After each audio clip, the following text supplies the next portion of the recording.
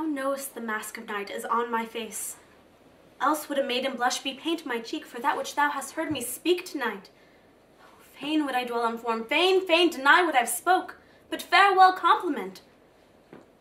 Dost thou love me? I know that wilt say aye, and I will take thy word. Yet if thou swearest, thou mayst prove false. At lovers' perjuries they say Jove laughs. Gentle Romeo, if thou dost love, pronounce it faithfully.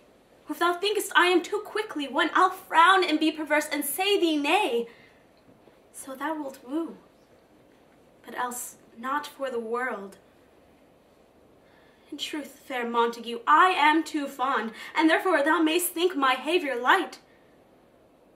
But trust me, gentlemen, I'll prove more true than those that have more cunning to be strange.